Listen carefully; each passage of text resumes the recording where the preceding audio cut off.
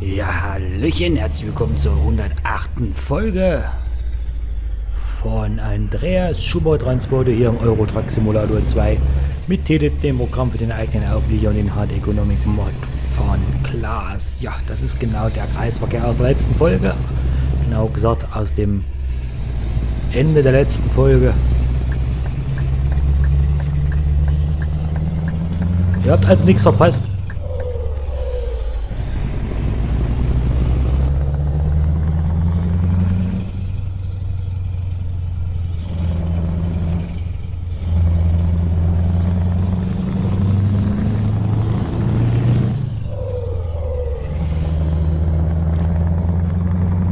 Ihr habt nichts verpasst. Für die, die doch was verpasst haben, die die letzte Folge nicht gesehen haben, wir haben in der letzten Folge in Tornio geladen. Etwas über 7 Tonnen Dosen Thunfisch. Für Wakaus. Alles hier in Finnland hier. Also eine kurze Strecke, 543 Kilometer.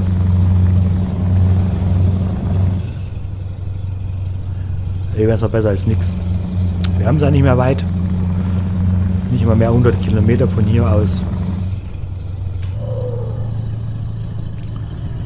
Also noch eine sehr übersichtliche Distanz. Wir laden auf jeden Fall diese Folge ab.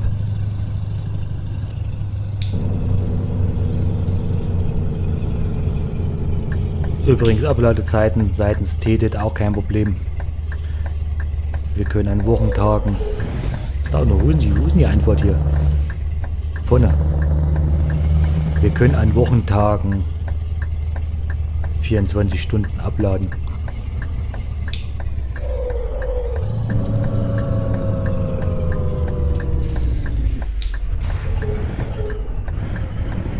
Und du jetzt nicht rausgefahren bist, weißt du selber nicht, wa?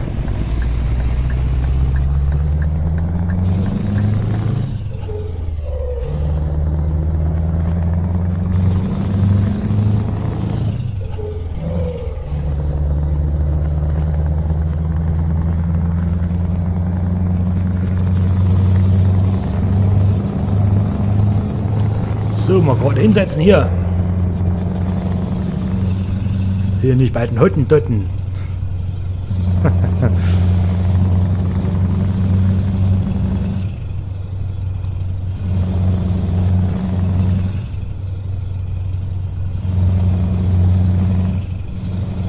Finde ich geil hier, dass du 80 fahren darfst in Finnland. Finde ich richtig geil.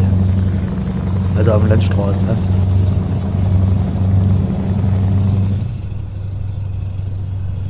Ja, habt gelesen, Macau ist 56 Kilometer.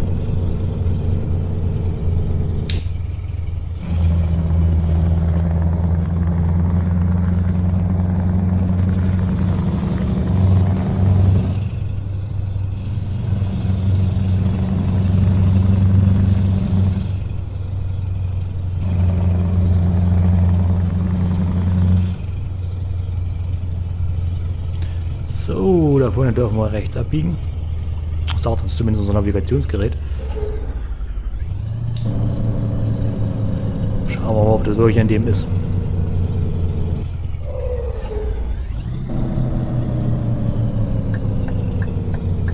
Vorwegweiser hatten wir nicht.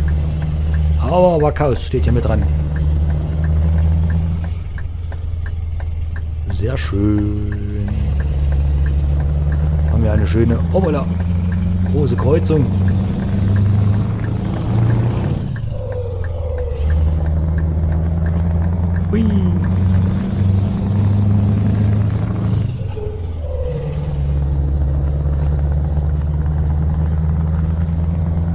Ging sogar direkt in die große 6.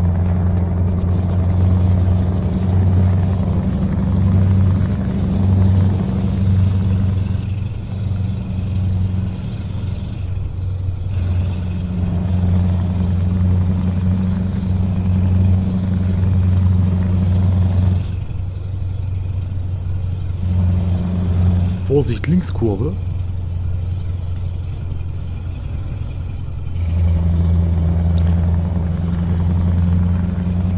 So, da müsste man dann langsam dort sein. Wie ist die Firma Postbet? Postbet ist unsere Abladestelle.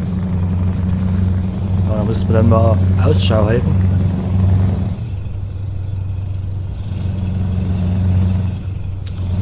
Hier ploppt schon mal Wakaus auf dem Navi auf. Da hinten sehe ich Schornsteine rauchen, also gehe ich mal davon aus, dass es die Ortschaft ist. Nicht gerade bergauf gehen würde, würde ich sagen, wir gehen schon mal vom Gas. Jetzt gehen wir wirklich vom Gas, weil hier ist nämlich 50.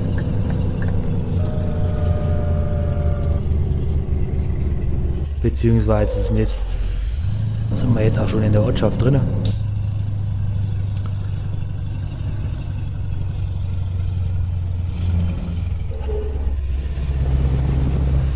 So, Freunde der Blasmusik. Ich habe es mir bei Tourbeginn schon auf der Karte angeguckt. Das dürfte die Firma sein hier, diese Postfirma oder was es darstellen soll. Und hier ist, glaube ich, hier ist Postbett, jawohl.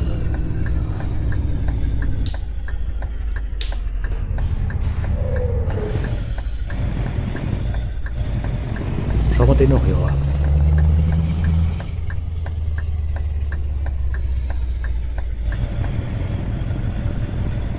Arm Fry.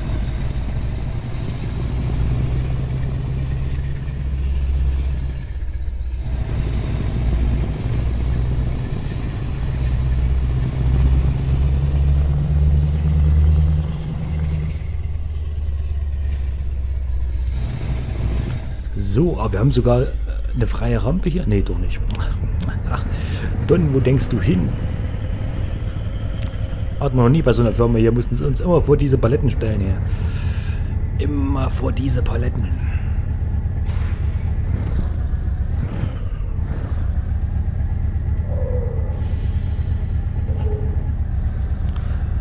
Aber das soll uns egal sein. Ich buxiere da garantiert keine Thunfischbuchsen an den Paletten vorbei. Das können die schön selber machen.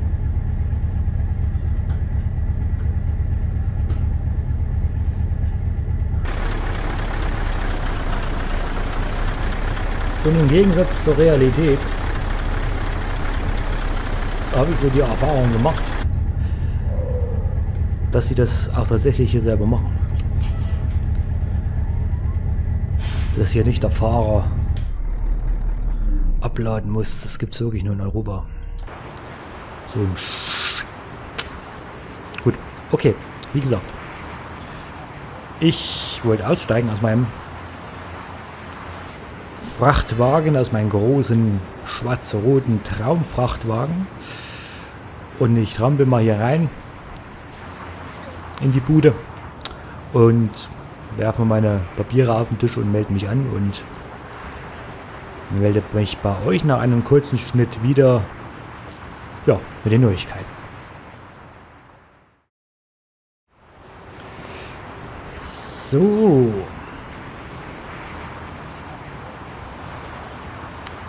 Also den zügigen Schritt machen hier. Dass wir den Laufen schnell hinter uns haben. Aber je eher Fernfahrer wieder sitzt, desto besser, desto wohler fühlt er sich. Gerade wenn er so ein Truck fährt. Ja, aber ja. So, geladen, Hammer. Ladestelle gleich Entladestelle. Das ist eine ganz einfache mathematische Formel.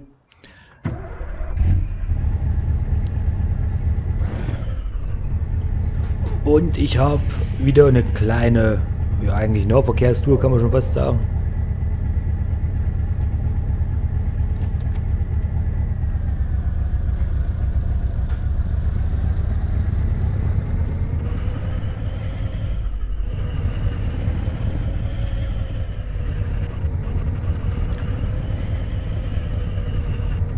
will den Trailer ungern so eng rumziehen. Und ich glaube, in der Firma müssen wir das auch gar nicht machen.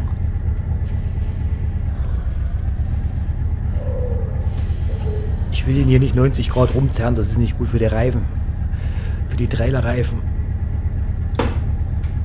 Ups, hat ein bisschen lauter geknackt, glaube ich.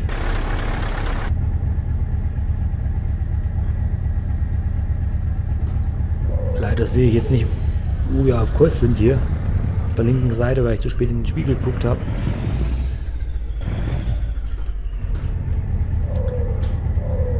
Ja, wenn man zu eng rumzieht, ziehen wir die Reifen vom Auflieger über die Flanken. kommt dann das sogenannte Radieren zustande. Es kommt eigentlich immer zustande, nur je stärker der Winkel ist, also das kommt immer zustande, wenn man um eine Kurve fährt, nur je schärfer der Winkel ist, desto krasser ist das eben. Deswegen möglichst große Bögen fahren.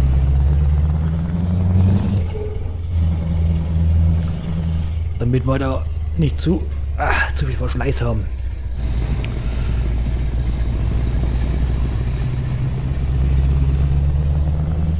So. Freunde des internationalen Güterfernverkehrs.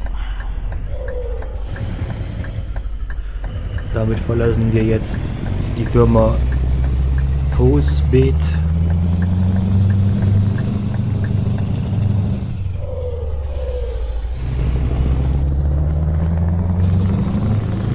In Varkaus in Finnland.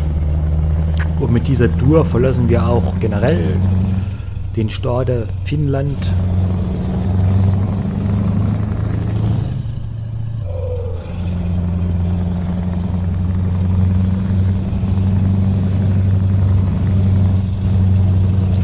Das war aber jetzt sehr optimistisch von dir.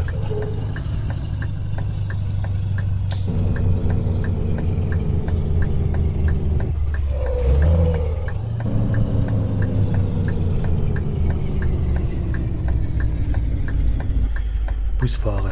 Traue ich auch nicht weiter, wie ich sie sehe.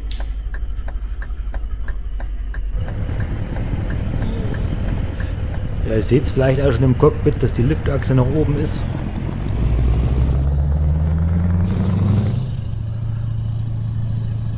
Habe ich nicht vergessen. Wir sind halt einfach wieder relativ leicht.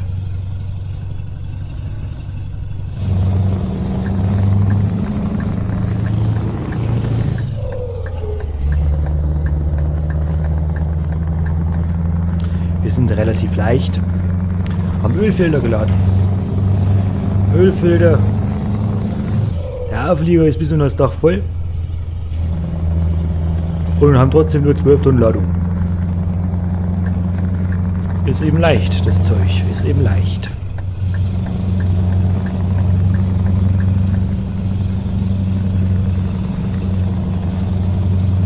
Ja, und unser Ziel ist so am morgigen Tag in Valka in... Oh, müssen wir kurz abbremsen hier in Valka in Lettland aufzuschlagen. Valka, eine Stadt, die genau auf der Grenze ist zwischen Estland und Lettland. Es gibt Valgar mit G geschrieben, mit G wie Gustav. Das ist noch auf der Seite von Estland. Und dann gibt es noch das Valkar mit K wie Kaufmann. Da fahren wir hin. Das ist dann schon die lettische Seite. So, 511 Kilometer sind das, zuzüglich 85 Kilometer Seeweg, in etwa 10 Stunden Fahrzeit angedacht, plus Fernüberfahrt, weiß ich allerdings offen gestanden jetzt nicht, wie lange die dauert. Äh, 2,09 Euro pro Kilometer ist die Vergütung und mit ein paar Zuschlägen und halt die 180 Euro für die Fähre kommen wir dann summa summarum auf eine Gesamtvergütung von 1350 Euro. Euronen. Ja, Euronen. äh, Abladezeit spielt keine Rolle. Wir können da jeden Tag zu jeder Tagesuhrzeit ausschlagen. Von daher schon mal kein Stress.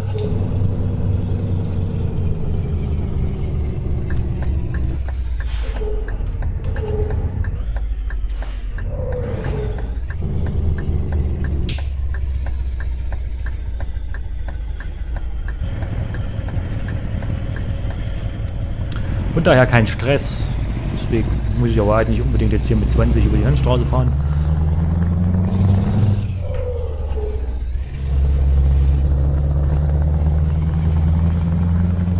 Streckenführung, ihr seht es gerade im Navi, wir fahren hier die 5 Richtung Süden, wird dann zu E75 Richtung Lati nach Helsinki, richtig nach Helsinki rein an den Hafen. Von da aus geht es dann mit der Fähre nach Estland rüber, nach Tallinnu. Ne, Tallinn, wie ist das? Tallinn, Tallinn, Tallinnu oder Tallinn? Tallinn, glaube Tallinn. Irgend sowas. Ja? Äh, Estland halt. Und von da aus geht es dann auf die E263 Richtung, ich glaube Tartu hieß das. Und dann auf die E264. Das konnte ich mir recht gut merken. Nach Valga bzw. Val, Valka. Also eine halt mit G, das andere mit K. Ihr wisst schon, was ich eben erklärt habe. Fahren wir erstmal rüber hier, dass wir den rückläufigen Verkehr, äh, den hinterherfahrenden Verkehr die Möglichkeit geben können zu überholen. Der wiederum gibt einen Scheiß drauf. Aufgrund der Tatsache aber, dass wir nun hier auf dem Kreisverkehr treffen. Und ich nicht wirklich Bock habe, einen zweiten Sattelzug, also neben mir einen zweiten Sattelzug zu haben im Kreisverkehr. Verzichten wir auch aufs Überholmanöver. Halten den Zebrastreifen bitte frei, aber wenn er nicht beschildert ist.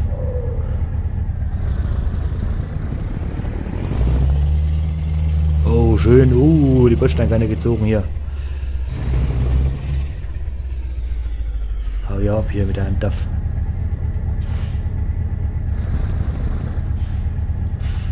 Der blinkt.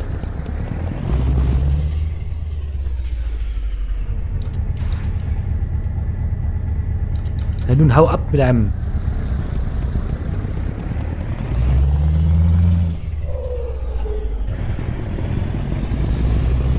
Mit einem kleinen Mini-Bus.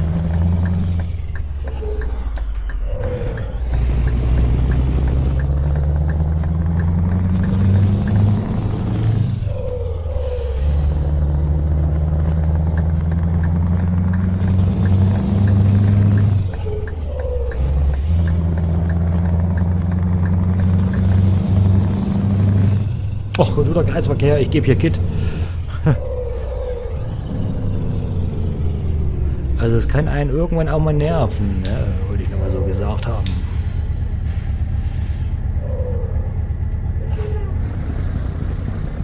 Zu gütig von dir, zu gütig.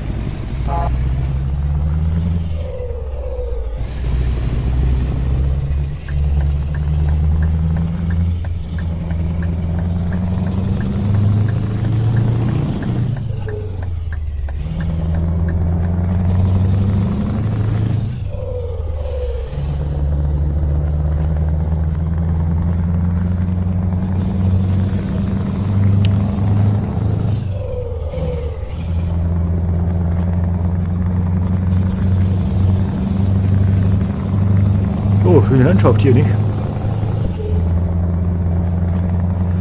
Ist halt Finnland.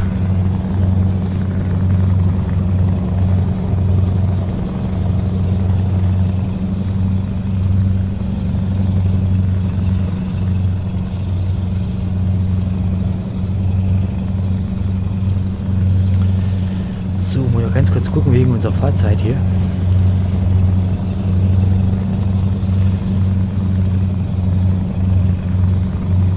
Tempolimits auch nicht. Dreieinhalb Stunden.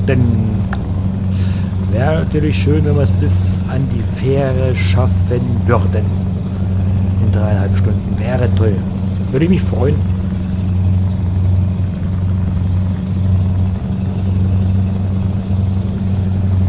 Also so 19.30 Uhr sollten wir uns dort einfinden.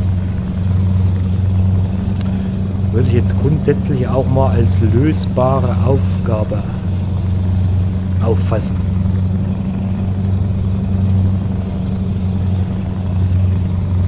Ja. Würde ich jetzt mal sagen. Je nachdem, wie gut wir hier durchkommen.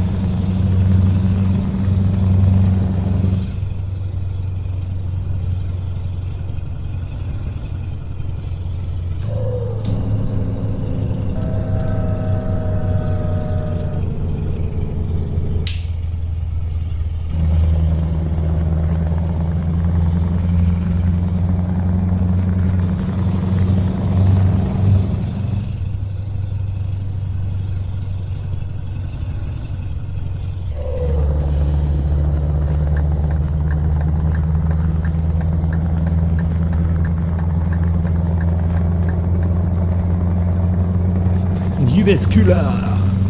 Waren wir schon mal, ne? Oh, wir müssen die Spur wechseln.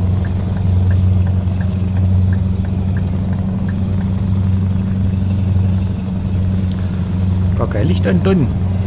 Nur das in Finnland. Das ist auch nicht gut.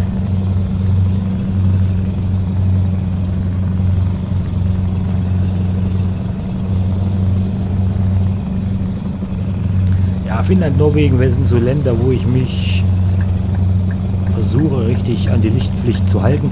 Lichtpflicht haben wir generell in Skandinavien ja überall. Aber gerade Finnland und noch schlimmer ist eigentlich Norwegen. Die sind da eben sehr, sehr streng, dass da wirklich das Abblendlicht an ist. Die anderen tolerieren eigentlich größtenteils auch das Tagfahrlicht. Ich meine, da ist es ja Tagfahrlicht. Ne? Aber Finnland, Norwegen sind da etwas spitzer drauf. Wie gesagt, Finnland noch nicht ganz so schlimm, aber Norwegen. Norwegen, die wurde mal so berichtet und geschrieben und ja, dokumentarisch festgehalten, sage ich mal, dass da eben, dass die da richtig spitz drauf sind, dass das Abblendlicht dann ist. Nix hier, komm, ich habe doch Tagfahrlicht oder so, nee.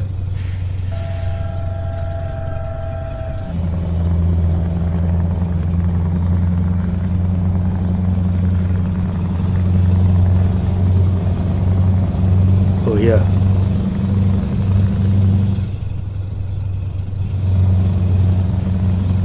Auch in Skandinavien gibt es Motorräder.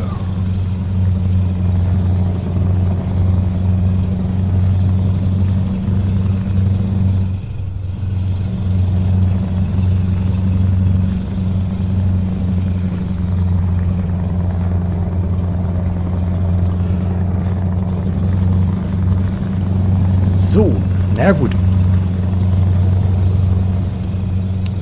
Ich würde jetzt mal sagen, mit knapp zwei Stunden Fahrzeit blausen wir hier an diesem Rasthof vorbei, setzen also auf eine Karte, hoffen, dass wir noch an den Hafen ankommen. Ob wir das wirklich schaffen, das, meine Damen und Herren, seht ihr in der nächsten Folge.